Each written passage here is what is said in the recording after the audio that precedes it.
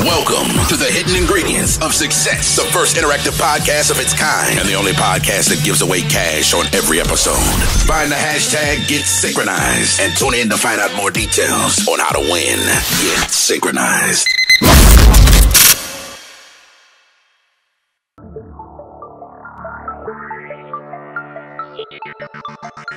Head on over to GetSyncronyzed.com where you can find the winning answer to the cash giveaway on this episode. That's G E T S Y N C R O N Y Z E D on the content page where it says page 5 from my upcoming book, This.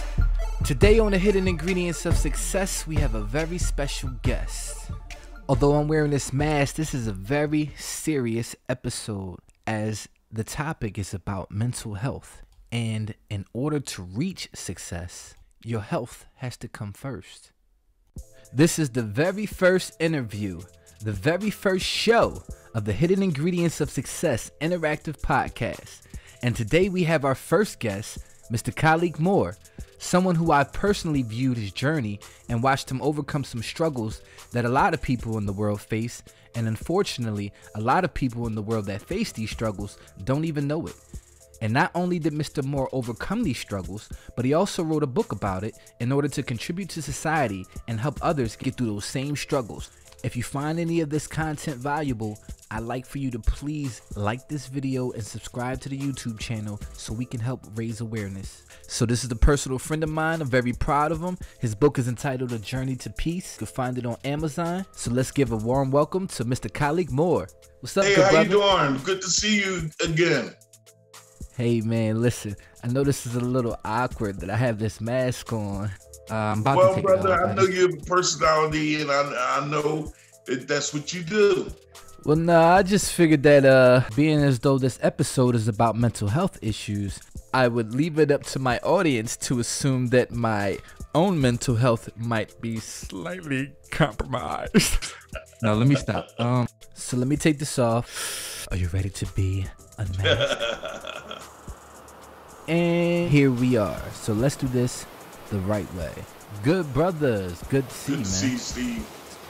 It's been a You while. mind me we calling you by your government, do you? oh man, listen, For those who don't know me, my name is Steven, that is my first name.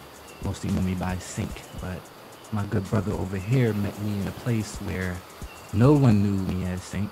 I guess we could share a little bit about that uh, with the viewers today. But uh, I'm gonna start it off with the question about your book. Why did you decide to write Okay. Journey to Peace? Well, how I decided to write it, I'm sitting in jail with you, as you know, and I'm going through it. I'm going through different emotions, anger, depression. All of my um, symptoms was flaring up, so I just started the uh, journey, uh, journal. Started writing this journal, and then I remember you suggested, "Hey, you should turn that into a book." Well, well So that's people that don't did. know, um, me and Mr. Moore, colleague, we met in jail. Unfortunately, I, I wish we could have met in a, a better place, but it was a blessing that we met because in us meeting, we'll be able to share our experiences and your experiences with the world. And I really feel that it could benefit, especially the black community, because there's an under awareness of the mental health issues in the black community. I don't believe that there are enough resources to help deal with it. And I believe that there are so many factors that play a part outside factors, but that's another story. Um, so anyway, uh, we met in jail, and um, well, you wanna you wanna you wanna tell them about you know your situation as far as being in PIC and how you ended up there and um, how we met, stuff like that. It was 2018. I was off of my medication. I had to stay on medication for my mental illness. And I was off my medication and I committed a crime, which uh, was aggravated assault. And it, and it landed me at Pick, one of the worst jails, in my opinion, on State Road. I just want to tell a little story about how we really met. Is I was having a um, kind of a moment then I was acting like I had a gun on the cell block and I was shooting bang, bang, bang, bang, just going around there. And everybody thought it was funny. Some people thought it was, you know, what's wrong with this guy? And it was different emotions. but you reached out to me and you said, uh, because at the same time I was, uh, you could say, uh, expressing myself on how I was feeling, and, and somehow you connected with that. And you wrote me a letter, and you said, you know, I feel you, and I understand where you're coming from. I don't think you're crazy. You know, it it's crazy because you literally just brought that to my memory because I totally forgot that I wrote you that letter. What it was yes. is when you came to the block, you were considered coming from A block, and that was what we called the crazy block. So everybody on A block was people who suffered from mental illnesses or physical handicaps, and they all had to take special medication. So when you came to the block, everybody in the block automatically knew from seeing you in the hallways that you came from quote unquote the crazy block. So when you were cutting up and acting up, everybody just automatically assumed that, oh, that's just you being crazy. That's who you are. And they were teasing you, making fun of you. And it's crazy because, you know, I just I'm the type of person I don't like to judge people. Like, just I've come from a place inside where I just don't judge people. And being as though we met that one time where I think it was we met before prior to that on the uh, going to court, and I spoke to you. Yes. And we we talked about numerology and life path numbers. And when you spoke to me on that on that on that time, I was like, okay, brother maybe from A block, but he woke though. Like he knows something. You not all the way crazy. So that intrigued me and that made me, you know, just want to learn more and, and figure out who you were.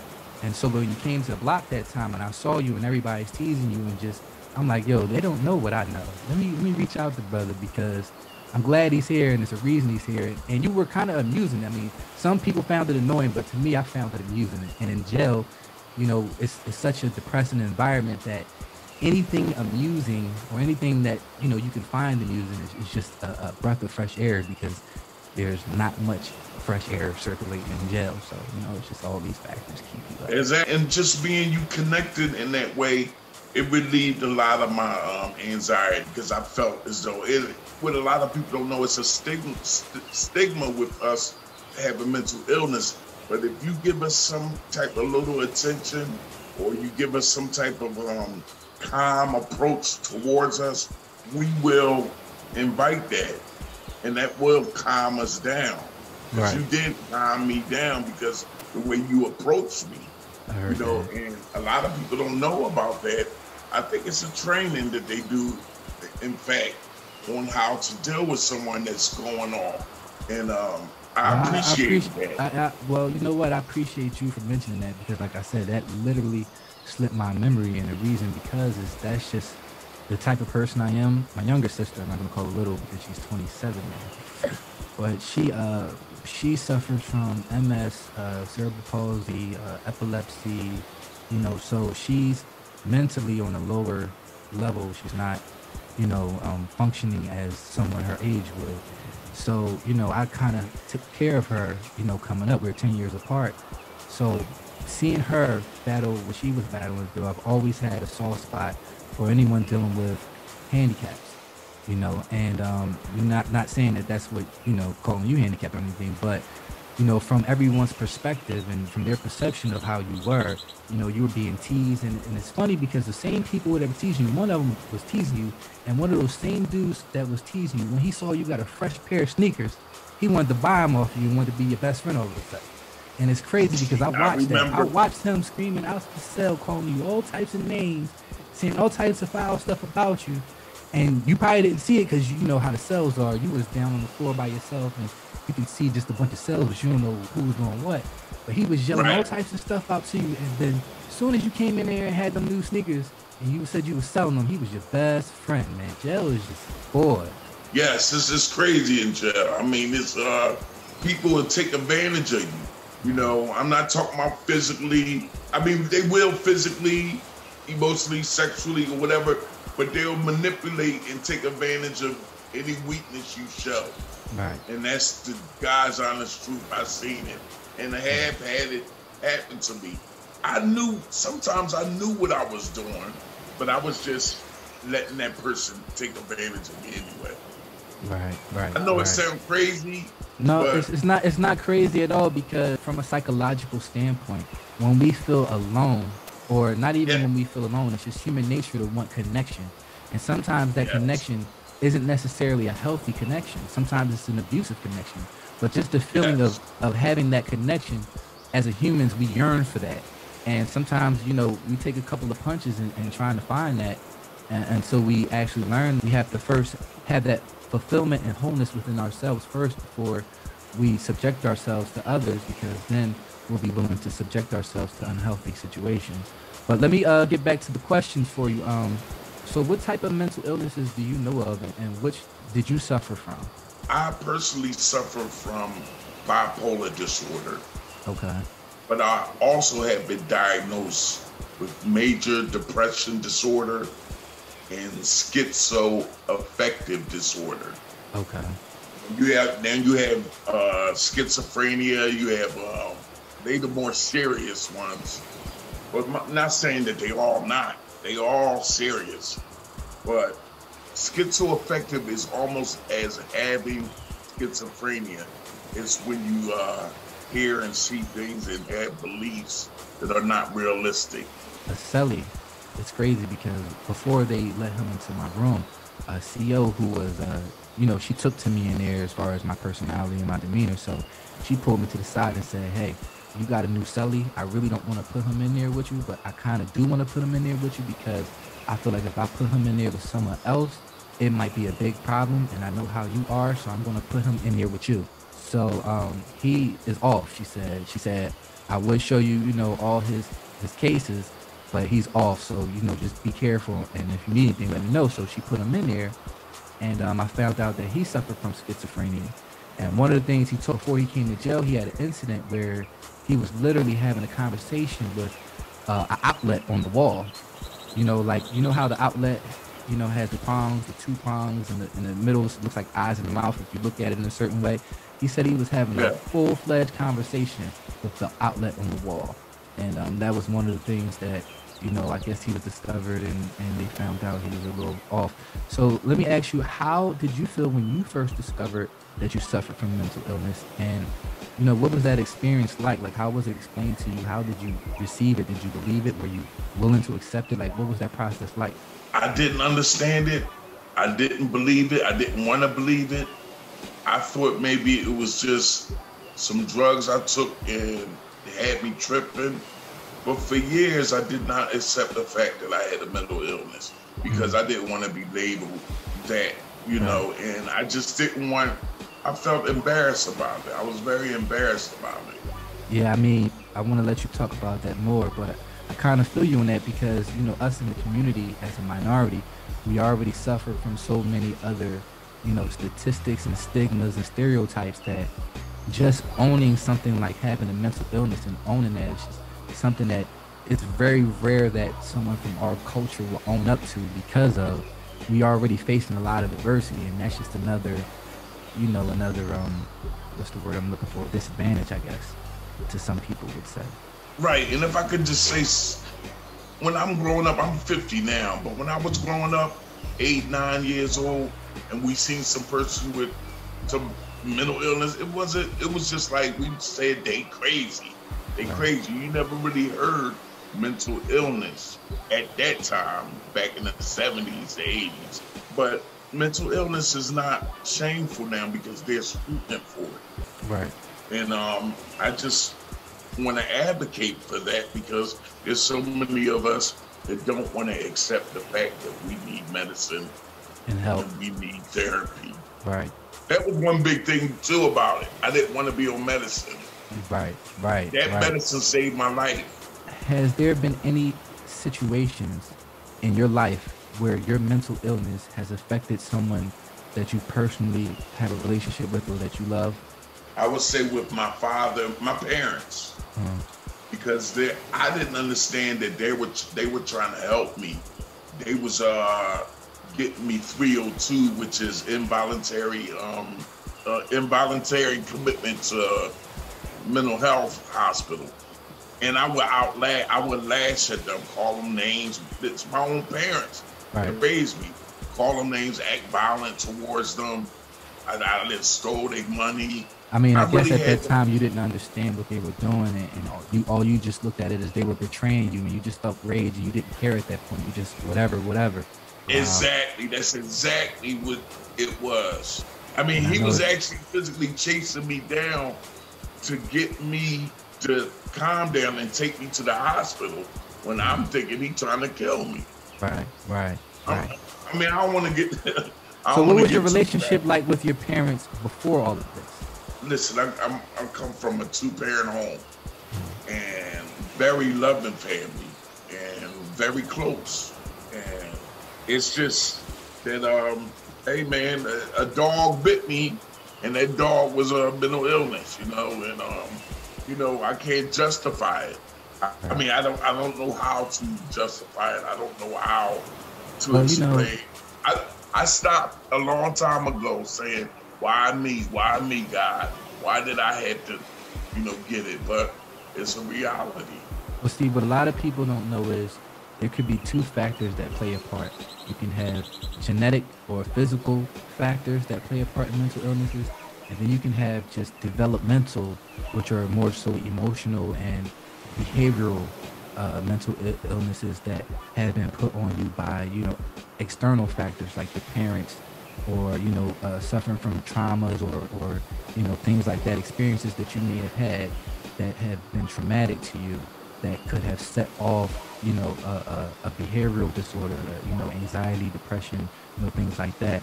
And then the genetics that where this, you know, the schizophrenia and the bipolar and stuff like that, usually that's chemical imbalance related and, you know, maybe things going on with your brain, you know, malfunction and stuff like that. That's absolutely right. When you were in jail, what inspired you to write this book in jail? I know I told you know you said that you mentioned that I, I told you that you should turn your, your journal into the book because I actually myself was in the process of writing this, the hidden Exactly. ingredients of success in jail. So you know we met.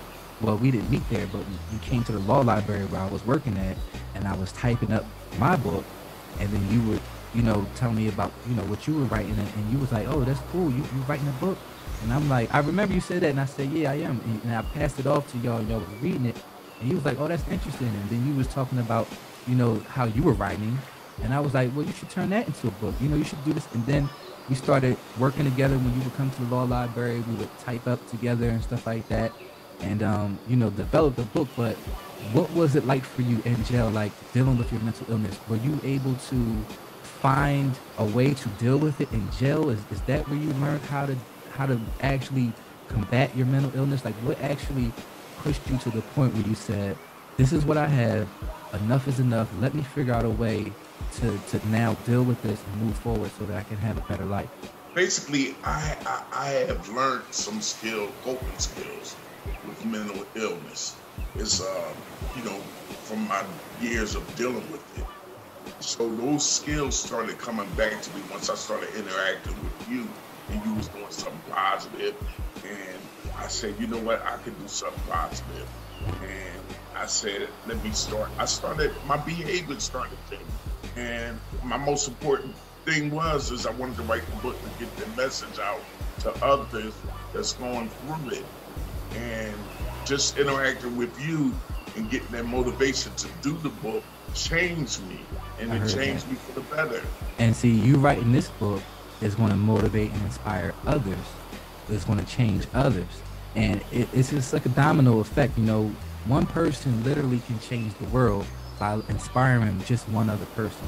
And I'm very proud of you. How's your book doing on Amazon? I see, I've been seeing comments on your page. I see Hey, a lot of people every- just been. everybody's been really receptive to it, and I had five stars. Um, I have great reviews, and people are just blown away by the genuinely openness that I give people with the book and the things that I have been through.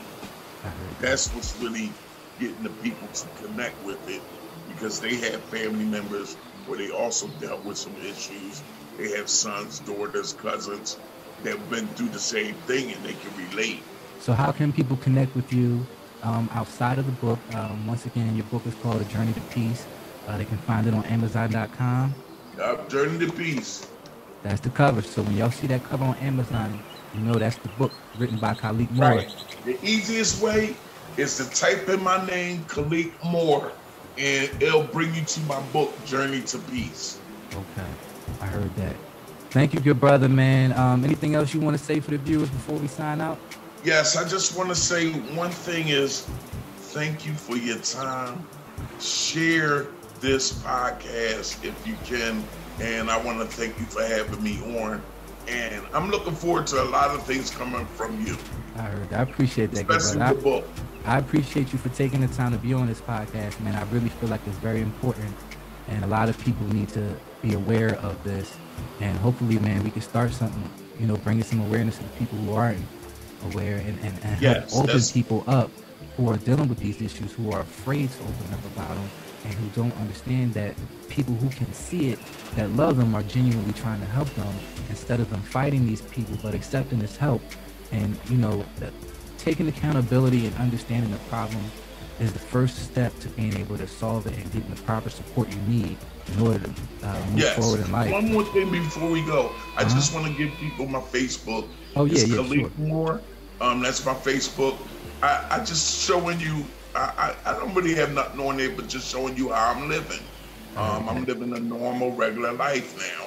And So my up- Instagram. I'm gonna put up your Facebook and your Instagram on the on the screen, so everything in the description. So everybody watching, you can find his Facebook and his Instagram in the description, so you can follow him along with uh, a link to his a direct link to his book on Amazon. Thank you. Thank you, good brother. It's All right. to Thanks you, man. for having me. I'm I'm I'm gonna reach out to you soon, man. We're gonna be talking. Okay. All right, peace and love. All right. God bless. It hurt me to wake up and see my beautiful black people suffer, victimized by the oppressive, harsh realities of the hood. I guess even though we were free, we were still slaves in the mind. Alrighty,